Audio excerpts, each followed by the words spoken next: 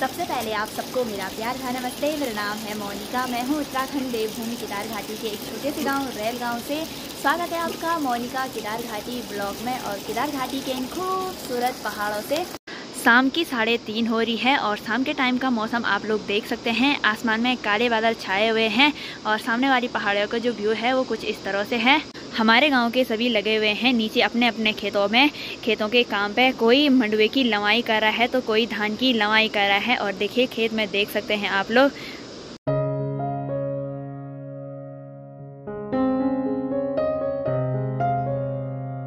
घर के नीचे जो खेत दिखाई देते हैं, वो ज़्यादातर खाली होने लग गए हैं। किसी ने यहाँ नीचे खेतों में धान बो रखा था तो किसी ने मंडवा, किसी ने झंगोरा तो धीरे धीरे अब खेत भी देखिए, वो होने वाले हैं, खाली होने वाले हैं। बाकी अभी मैं यहाँ पे बना रही थी भैंस के लिए पीना, गाय के लिए तो मैं पीना ले गई हूँ, अब भैंस को ले जाती हूँ। तो चलिए जी, मेरी भी तैयारी हो गई है खेत में जाने की और गौशाला से होकर जाऊँगी। मम्मी तो चले गई है मेरे से आगे और आजकल पहाड़ों में मतलब हमारे गाँव में जो काम हो रहा है वो है आजकल खेतों का काम। सुबह में जंगल जाओ, सूखा घास के लिए और शाम के टाइम जो काम होता है वो खेतों का होता है। तो चलिए जी, अभी मैं पहुँच गई हूँ गौशाला और गाय को तो मैंने अंदर बाँध रखा है, बाकी भैंस है बाहर पे। तो भैंस के लिए मैं पानी दे देती हूँ और ये देखिए पानी के लिए कैसा कर रहा है। और सबने अपनी गाय, भैंसें बाहर निकाल दी हैं और गाय मैंने बाहर नहीं निकाली है क्योंकि हमारी जो भैंस है ना, वो गाय को मार रही है।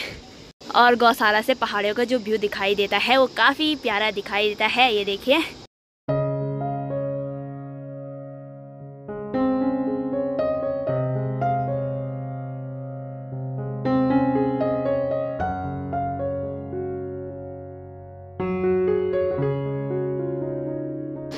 और हम गाय भैंसों के लिए जो पानी भरते हैं ना तो यहाँ धारे से भरते हैं पानी। तो यहाँ पर मैंने बाल्टी रख दी है।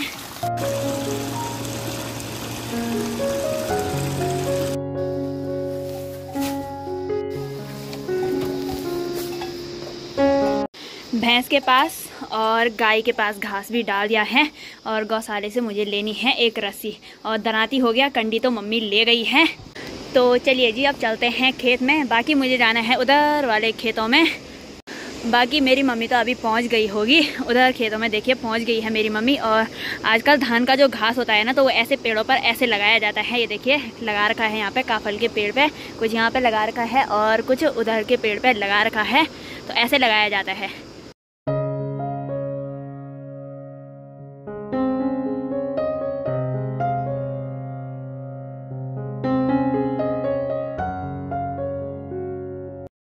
और दोस्तों, आजकल मेरी तबीयत भी थोड़ी बहुत ख़राब होने लगी है। आज से तो ज़्यादा ही होने लगी है।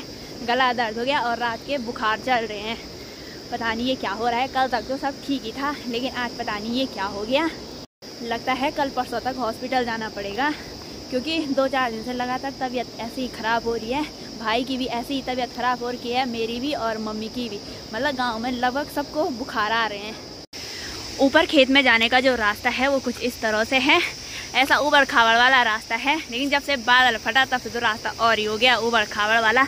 बाकी यहाँ रास्ते से नीचे दिखाई दे रही है मंदाकिनी नदी, जो कि केदारनाथ से आती है।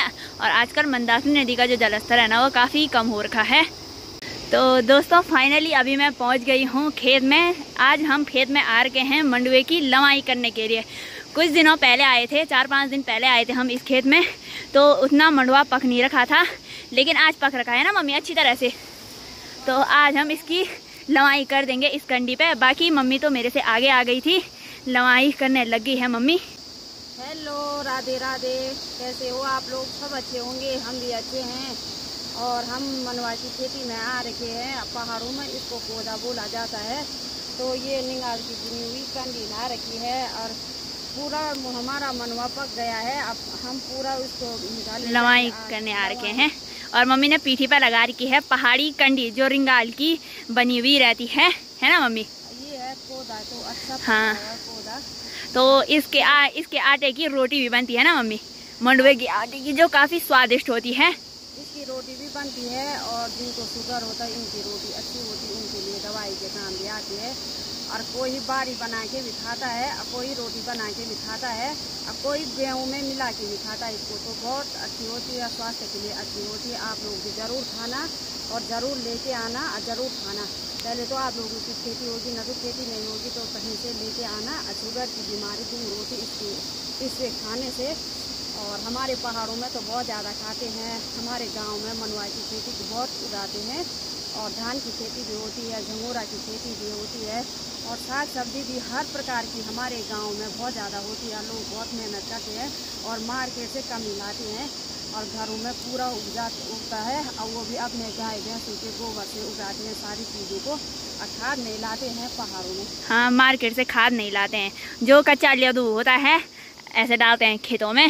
कभी दिखाऊँगी मैं आप लोगों को। बाकी मैं अपने खेत की हालत दिखा लेती हूँ। यहाँ तक तो ठीक है हमारा खेत, जहाँ तक ये मंडवा है, लेकिन उधर तक हुआ करता था, लेकिन बादल फटने के कारण हमारा इतना खेत बर्बाद हो चुका है।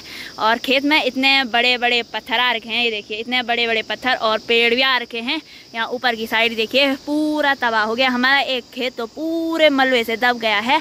पता ही नहीं चल रहा है कि कौन सा खेत है हमारा। दो तीन खेत दब रखे हैं यहाँ ऊपर, और ना खेतों में इतने बड़े बड़े चीड़ के पेड़ आ रखे हैं। चीड़ के पेड़ हो गया, उतीस के पेड़ आ रखे हैं। खेत का तो बर्बाद हुआ और यहाँ पे एक माल्टे का पेड़ हुआ करता था, लेकिन उसका तो कोई अता पता है ही नहीं।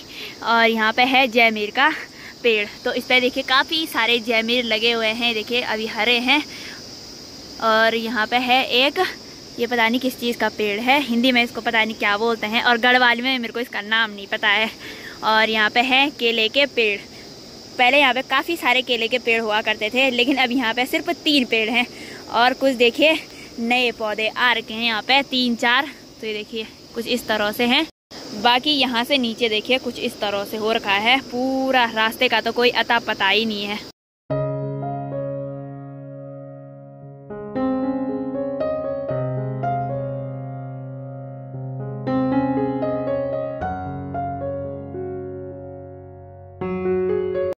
तो चलिए जी, अब मंडवे की लवाई कर लेते हैं और बाकी मेरी मम्मी मंडवे की लवाई कर ही रही है और साथ में घास भी निकालना है। तो पहले मंडवे की लवाई कर लेते हैं, फिर निकालेंगे घास को। और ठीक इधर साइड खेत में हमने कभी लगाया था केले का पेड़ तो ये देखिए काफ़ी बड़ा हो गया है ये केले का पेड़ और इस पर देखिए काफ़ी सारे पत्ते हैं। और यहाँ पे एक केले का पेड़ नया भी रखा है, देखिए। एक नहीं, दो दो हो रखे हैं यहाँ पे, देखिए नए। और इधर साइड के खेतों में इस बार धान नहीं है, ज़्यादातर मंडवा हो गया और झंगोरे की खेती करी हुई थी। इस साल इधर साइड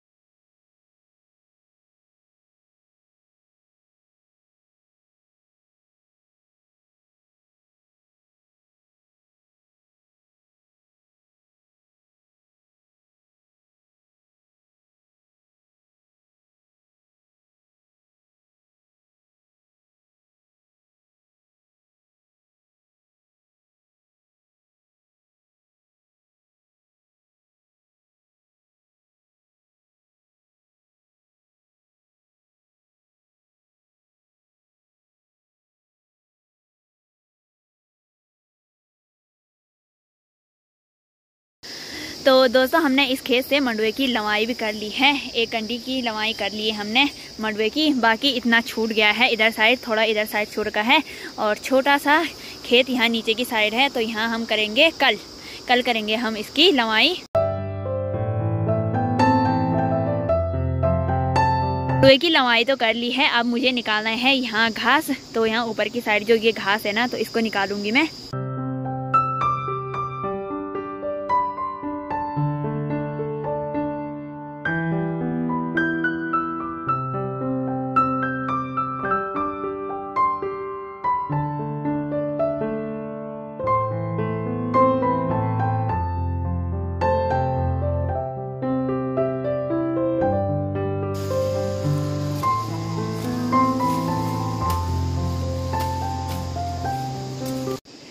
तो घास की भारी भी मैंने यहाँ पे लगा दी है और अंधेरा भी होने वाला है।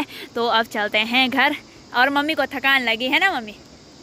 लग गई और जब का काम तो ही और आजकल तो फुर्सत ही नहीं है। सुबह में घास के लिए चट्टानों पे जा रहे हैं शाम को खेतों का काम कर रहे हैं लगातार हाथों पर भी छाले पड़ गए और मम्मी को बुखार भी आ रहे हैं। बुखार भी आ रहे हैं। और तबीयत भी सही नहीं है और काम भी करना ही है। है ना मम्मी एक दो महीने तो बहुत काम रहता है हमारे गाँव में। वैसे ही चट्टानों का घास लाते हैं वैसे ही खेतों का काम करते हैं। और वैसे ही घर में गाय भैंस रखे उनको घास की व्यवस्था भी करनी पड़ती है और ठंड की व्यवस्था भी करनी पड़ती है। घास की ठंड के महीने के लिए गाय भैंसों के लिए बर्फ़ पड़ता है हमारे गाँव में। तो चलिए जी भारी लेके चलते हैं अब घर। लिए मैंने चौलाई भी निकाल दिया है इसको बोलते हैं गढ़वाली में सवती। और इसको ले जाते हैं सब्ज़ी के लिए। है, डब्बा ये रहा। बाकी भैंस रहेगी रात को बाहर और मम्मी ने घास भी डाल दिया है और गाय के पास भी घास डाल दिया है। गाय तो अंदर रहती है, बाकी भैंस रहती है बाहर। तो अब चलते हैं घर और बाहर देखिए, अंधेरा भी हो गया है। गौशाला से घर भी आ गई हूँ और डब्बा मैंने यहाँ पर रख दिया है। और जो मंडवा हम खेत से लाए थे तो यहाँ एक जगह पे इकट्ठा कर लिया है और इसमें हम पानी डालते रहेंगे। मम्मी क्यों डालते हैं पानी? और अब इसमें हम गलाने के लिए पानी डालेंगे। वो अच्छी तरह गल जाएँगे तब पा, हम पाँव से इसकी मनाई करेंगे और दाने एक तरफ़ हो जाएगा और ये कबार एक तरफ़ हो जाएगा। तो मम्मी ने आप लोगों को बता दिया है तो जो ये मंडवा लाए हैं, इसमें हम पानी इसलिए डालते हैं क्योंकि इसमें अगर हम पानी डालते रहेंगे तो ये अच्छी तरह से मतलब पक भी जाएगा और पूरी तरह गल भी जाएगा। तब उसके बाद इसकी मंडाई करेंगे हम। तो आज की इस वीडियो को यहीं पर एंड करते हैं। आई होप कि आपको मेरी ये वीडियो पसंद आए। वीडियो पसंद आए लाइक करें कमेंट करें, अपने दोस्तों के साथ शेयर करें। मैं मोहिका मिलती हूँ आपको अपनी अगली नई वीडियो के साथ। तब तक के लिए जय देवू में उत्तराखंड।